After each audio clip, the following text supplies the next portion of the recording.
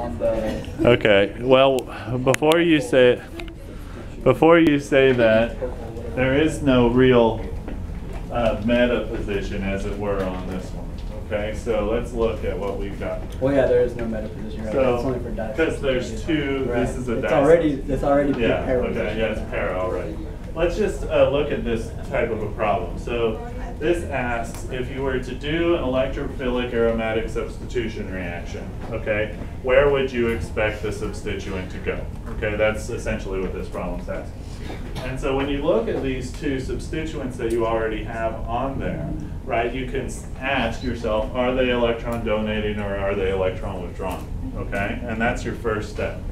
So this one, of course, you can always draw them out, you know, bond line or whatever, but hopefully you can see this is an isopropyl group, right? So alkyl groups, do you remember if they're electron donating or withdrawing?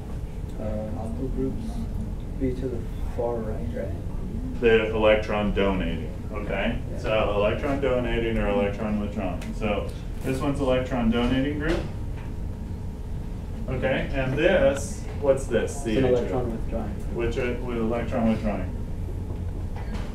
Okay, so they're going to have their particular, um, what do you say, uh, abilities to put the new substituent at particular places, right? So an electron donating group, where does it usually put the new substituent in an electrophilic aromatic substitution reaction? Ortho and para?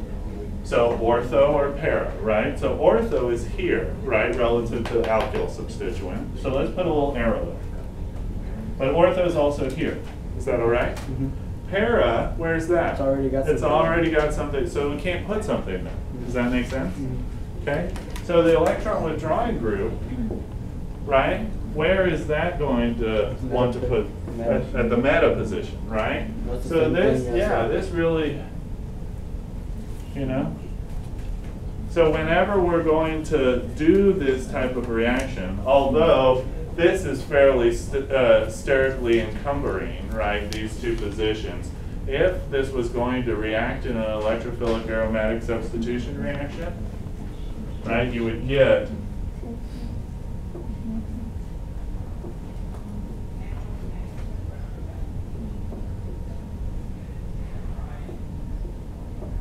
that new substituent there or there. Okay, so that's the way to do, that's the way to do these react, these problems. Okay, we good?